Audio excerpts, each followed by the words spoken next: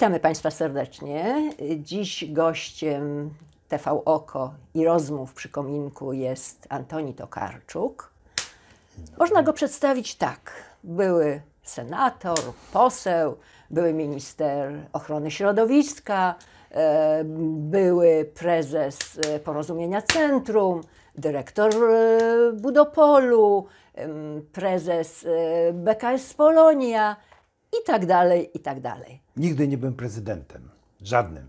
Ale radnym już tak. Tak.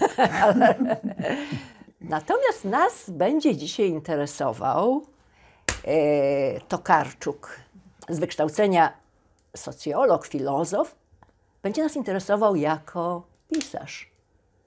E, debiut książkowy Antoniego Tokarczuka w 2017 roku to była książka Mój czas, flirty z historią, e, wydana przez IPN.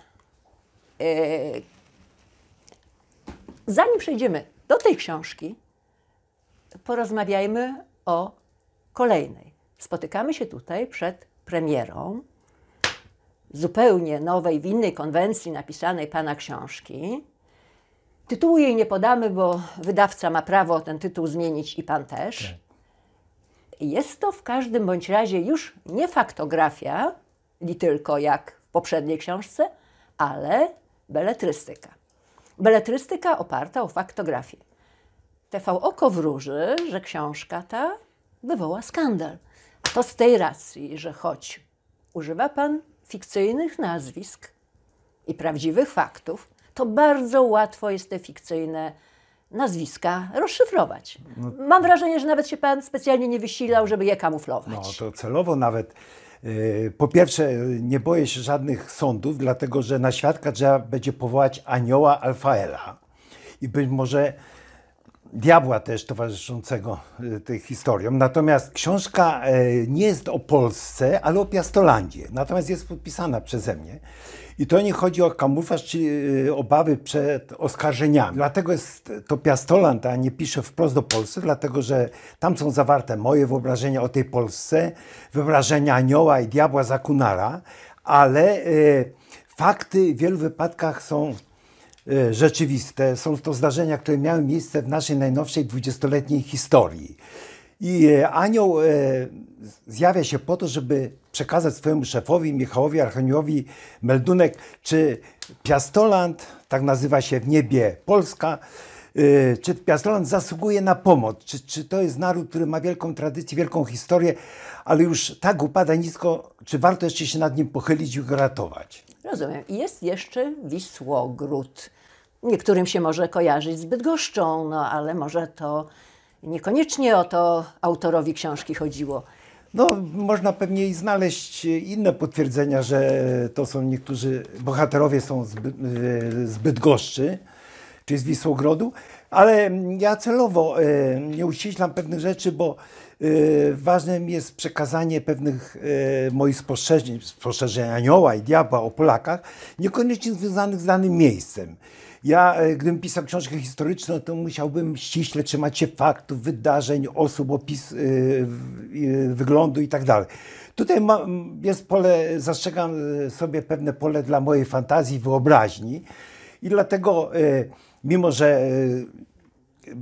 łatwo można rozszyfrować, kto to jest Jarogniew Ptaszyński i kto to jest pan e, przewodniczący Kieł, jeżeli zna się angielski. Ronald Kieł. E, Tak, Ronald Kieł. Kto to jest Czarymir Marawiecki i kto to jest Mścisław Złobro. To, e, to są postacie w dużym stopniu przybliżone do rzeczywistych i nie będę się tego wypierał nawet przed sądami. No dobrze, to ponieważ jesteśmy tutaj w naszym regionie, to ja, mając tutaj tą książkę, która już jest przygotowana do druku, Tak, czekam na jeszcze na Zacytuję. ostatecznego wydawcę. zacytuję. Zdzisław Paleńczyk jako funkcjonariusz służby państwowej nie musiał z bronią w ręku napadać na banki i opanowywać sztukę otwierania najlepiej zamkniętych e, sejfów. On miał w ręku inny, specjalny klucz do państwowej kasy. Była nim wiedza tajemna. Z tych źródeł oficer służby państwu dowiedział się, w jaki sposób można legalnie handlować nielegalnym spirytusem. E, no myślę, szanowny autorze, że nikt nie będzie miał wątpliwości, o jakie osoby chodzi, gdyby chciał to przypasować do Wisłogrodu. Tak, tak. Myślę, że pan y, Paleńczyk jest do rozszyfrowania w strukturach y, SB, natomiast handlarze y, y, alkoholem, sprowadzającym ogromne ilości alkoholu i robiący na tym ogromny majątek, Wajściukowie to też podobne nazwisko do rzeczy. I kolejna fikcyjna postać z pana książki, poseł Śliwka. Publiczność szalała na cześć swojego pupila, a poseł Śliwka robił wszystko, by kibice żużla wiedzieli, że to on jest prawdziwą podporą i mecenasem mistrza. Należne to w trofea wręczał mu w towarzystwie prezydenta najjaśniejszego piastolandu, potwierdzając tym samym wszem i wobec w niewypowiedziany sposób, że rangi jego nazwiska w kraju nie należy wiązać z niepozornym owocem przez zaniedbanie przodków będącego wciąż jego nazwiskiem. Raczej z gatunkiem wspaniałego ptaka, króla przestworzy, szybującego wysoko na niebie i spoglądającego groźnie z narodowego godła. Zakrapiana mocno impreza, starannie dobranym składzie, miała jasno pokazać, kto jest prawdziwym dobrodziejem tego województwa. Nie boi się pan procesu, bo y, tego posła, byłego posła, nie trudno rozszyfrować, jeżeli mówimy o Wisłogrodzie. Ja się nie boję procesów, dlatego że ta moja pierwsza książka, y, gdzie piszę o tylu faktach, krytycznie, nawet y, może bez złośliwości, ale krytycznie oceniam, y, podaję fakty niewygodne, to nie spotkałem się ani z jednym oskarżeniem nawet publicznym w prasie, nie tylko w sądach. Natomiast tutaj to jest sprawa też pewnej mojej wyobraźni, dlatego zastrzegam, że to nie jest monografia polskiej rzeczywistości czy bydgoskiej rzeczywistości. A podejrzewam, że e, gdyby mnie podano do sądu, to e, zażyczę sobie, żeby na świadku wezwano anioła i diabła. Być może, bo tylko one pewno będą w stanie potwierdzić, co też się działo w alkowach niektórych polityków. Pojawiają tu się kobiety, e, które szantażem albo dla majątku ukierunkowują pewne postępki polityków. Tu już wchodzi pan w intymne, że tak powiem, zakątki.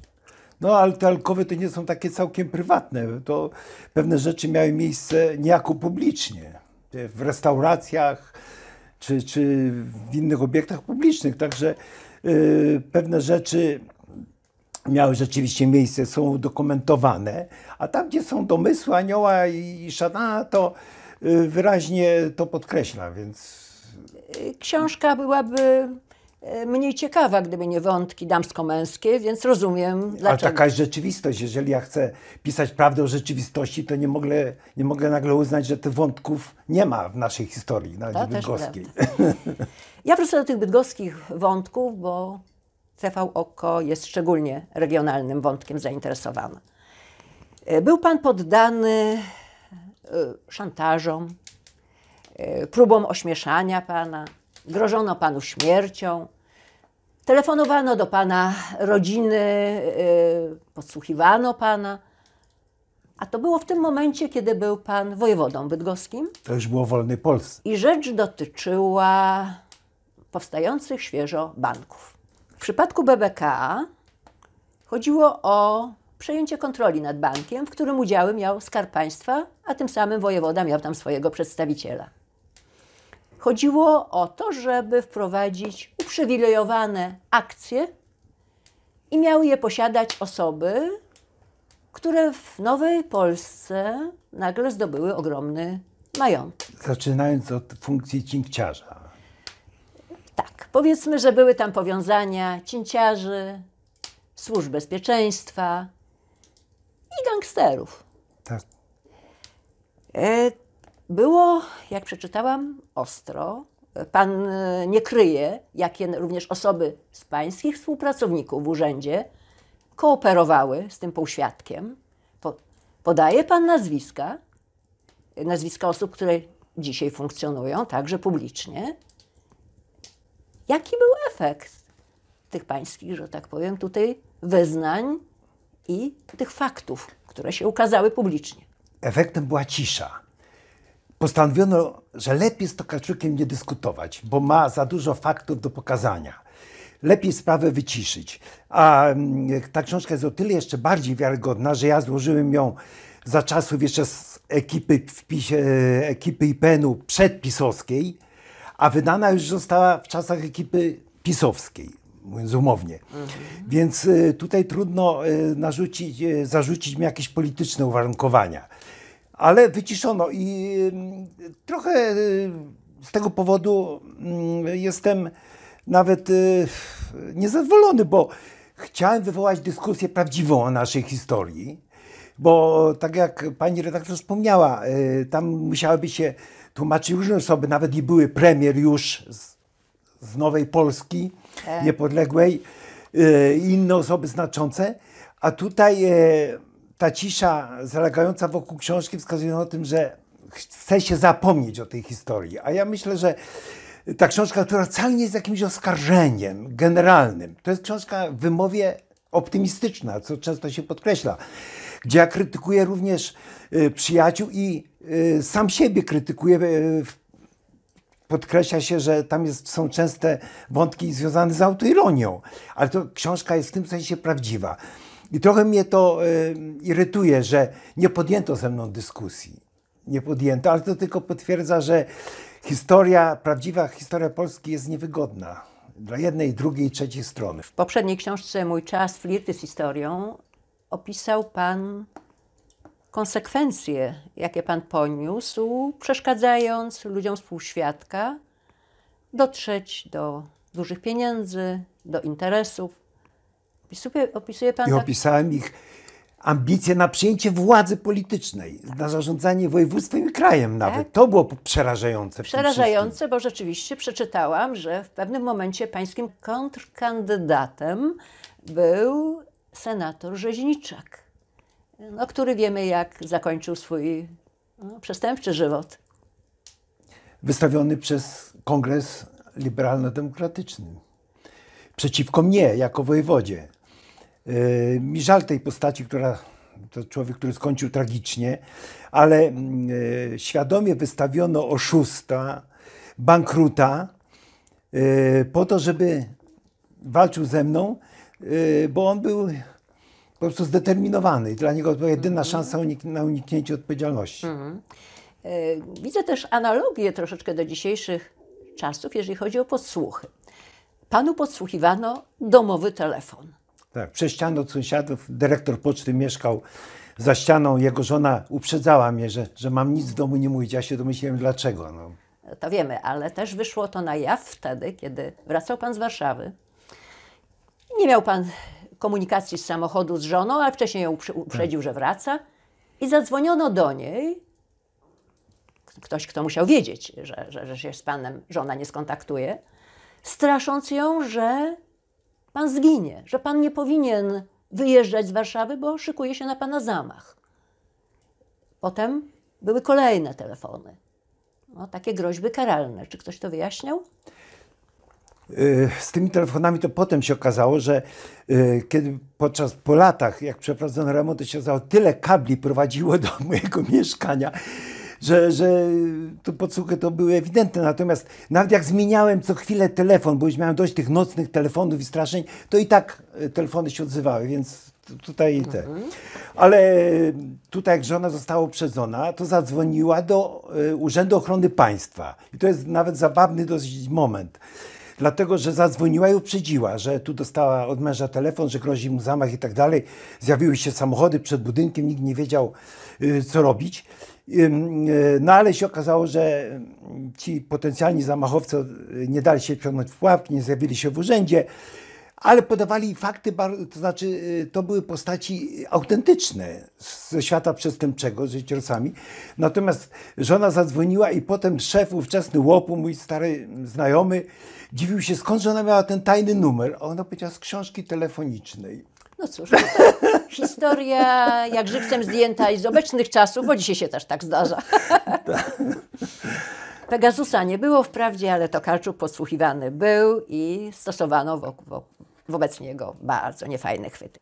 I niesiona nieogarnioną pychą i rządzą panowania postawa Jarogniewa, wpisująca się w realizowany z powodzeniem scenariusz nakreślony w ognistej księdze. I nawiązując do tego, takie przewrotne pytanie. Kiedy się skończyły Pana bardzo dobre stosunki z Jarosławem Kaczyńskim? Bo były poprzednio Ja, bardzo Jarosław dobre. Kaczyński nadszedł moment e, w 1978 roku, kiedy Jaros, e, Jarosław e, Kaczyński stanął rozkrokiem na barykadzie. Rząd premiera Buzka mu się nie podobał, on był nawet e, trochę dyskryminowany w AWS-ie i on postanowił wycofać się z polityki. Nawet e, wcześniej, bo już w wyborach w 1987 roku nie startował z listy AWS-u, tylko z listy e, Jana Olszewskiego z Ludwikiem Dornem. Taka dziwna sytuacja, ale e, A Pan był wtedy w PC? ja byłem jego zastępcą. Tak? E, tak, ja- ale pod koniec e, g- e, sie- 98 e, 98. 98 roku y, przyszedł mu pomysł y, Jarosławowi Kaczyńskiemu, że- żeby zrezygnować z polityki, życia publicznego i na początku y, przyszłego roku, w styczniu, wyjeżdżając z balu dla y, przedsiębiorstw Pomorza Kujaw, gdzie zdobyłem tytuł drugiego przedsiębiorcy Pomorza i Kujaw, musiałem, Jako prezes Budopolu, dodajmy. jako prezes Budopolu musiałem zostawić, bo nie byłem posłem, wtedy nie kandydowałem. Pojechałem na wybory i zostałem wybrany prezesem y, Porozumienia Centrum, czyli następcą Jarosława Kaczyńskiego. Dałem mi się namówić, mimo że y, odnosząc sukcesy w gospodarce, nie chciałem wchodzić do polityki, ale dałem się uprosić przez kolegów, że Antoni, weź na chwilę, ty jesteś niezależny, y, partia bankrutowała, jesteś niezależny, zarabiasz. Weź jakoś na ten przejściowy okres zarządzaj partią dodaną i Tchórzewskiego do towarzystwa. Wszystko było dobrze, dopóki się nie okazało, że ja miałem być e, Likwidatorem. likwidatorem czy syndykiem masy upadłościowej. Nie powiedziano Porozumienia mi, Centrum. Tak, nie powiedziano mi, że y, partia jest ogromnie zadłużona. Dopiero pan minister Wiśniewski pod koniec pierwszej kadencji PiSu darował 700 tysięcy długu porozumieniu Centrum. Więc y, ja A tym- dodajmy tylko, że były to między innymi długi spowodowane wynajmowaniem bardzo luk lu luksusowych lokali na bagateli. siedzibę. Tak. tak, tak. Taka pycha była trochę partyjna. E, ale jak już zostałem e, e, wybrany, wybrany demokratycznie na z polecenia, ale demokratycznie na prezesa Porozumienia Centrum, to zacząłem partię ratować. I wbrew e, dotychczasowym tendencjom zaczą, e, za, e, zacząłem szukać chętnych do jednoczenia. Ja nie chciałem opanowywać innych, tylko chciałem się jednoczyć, żeby ta postsolidarnościowe partie jednoczyły się, żeby stanowiły pewną siłę e, reformatorską w parlamencie. I kiedy zacząłem się jednoczyć, się okazuje, że ja działam wbrew planom e, Jarosława Kaczyńskiego, któremu zależało na upadku porozumienia centrum po to, że... A dlatego, z że- jakiego powodu? Dlaczego? Dlatego, że to była partia demokratyczna bardzo niewygodna. Nie dość, że składki były mizerne, nie było wtedy finansowych em, dotacji na partie polityczne. Ludzie się kłócili, ciągle były konflikty. Nie można było dyktować, kto ma kandydować do Sejmu, bo ludzie decydowali oddolnie. Była pełna demokracja. I to była partia niewygodna. Trzeba było ją zlikwidować i utworzyć partię wodzowską. Ja tą partię, te zamiary nazwałem em, chęcią utworzenia partii mm, orszakowej, czyli wódz na początku, ewentualnie jego brat, a reszta orszakiem bez struktur, bez żadnych zabezpieczeń e, demokratycznych podąża za wodzami. No i tak. e, I jaki tak, finał był tego? finał był taki, że już w momencie opanowania, e, tak, ale skończąc ten finał, w momencie, kiedy już SLD doszło do władzy, to Kaczyński poprzez Dorna dogadał się z Leszkiem Millerem premierem i utworzyli partię, utworzy, po, e, e, wprowadzili ustawy o partiach politycznych, która finansuje z, z budżetu partię, która doprowadziła do tego, że scena polityczna została zabetonowana. Teraz nikt bez pieniędzy do polityki nie może wejść. Ale e, wtedy naraziłem się, e, jednocząc się e, z Partią Chrześcijańskich Demokratów, kierowaną przez wcześniejszego jeszcze od premiera e, Pawła Łączkowskiego. No i y, wchodząc w, w, w strukturę AWS-u i funkcjonując normalnie. I w związku z tym, że partia była zadłużona i był sprzeciw prezesa, y, byłego, ale y, postanowiliśmy wobec tych zwłaszcza długów utworzyć nową partię i p- Porozumienie Centrum zostawiliśmy z długami. Natomiast 95% członków Porozumienia Centrum przeszło do nowej partii, yy, którą nazwa była taka skomplikowana, włączona z porozumienia, to poroz- weszło do nazwy nowej partii Porozumienie Polskich Chrześcijańskich Demokratów. Czyli jakby te, dwa, e, te dwie nazwy nadaliśmy się nowej partii, która zaczęła normalnie funkcjonować w AWS-ie. Ożyła, e, miała już coś do powiedzenia i gdyby nie smutny los AWS-u, to byśmy być może do dzisiaj byli świadkami istnienia tej partii. Mówi się dzisiaj, Ale e, później oczywiście doszło do konfliktów już dlatego że mm, e, przy- do konfliktów w związku z faktami, gdzie czasami jakieś przypadki śmieszne decydowały, ale chodziło o to, że e, mieliśmy 12 posłów, niezależnie e, oprócz e, Jarosława e, e, Kaczyńskiego i Ludwika Dorna, którzy byli przy Wropie, 12 posłów. No i ci posłowie, e, na- nagle Jarosław Kaczyński namówił tych posłów, żeby wystąpić z wotum nieufności, czy poprzeć wotum nieufności wobec e, pani minister e, sprawiedliwości Hanny Suchockiej. No i właściwie ci, ta nasza dwunastka posłów zgodziła się, czy trzynastka z Ludwikiem Dornem, na to, że poprą wotum nieufności. Po czym odbyło się spotkanie e, z premierem Buskiem, no i wszyscy posłowie zmienili zdanie. W tej sprawie postanowili e, nie głosować, nie poprzeć tego wo- wotum nieufności. Z wyjątkiem e, tu, posła z Bydgoszczy mm, Kosmy. Złotowskiego, który chciał wiernie trwać przy stanowisku uzgodnionym z, z Jarosławem Kaczyńskim. Ja nie miałem wpływu, bo ja byłem w Bydgoszczy. Jeszcze miałem straszliwie ciężkie przetargi wtedy.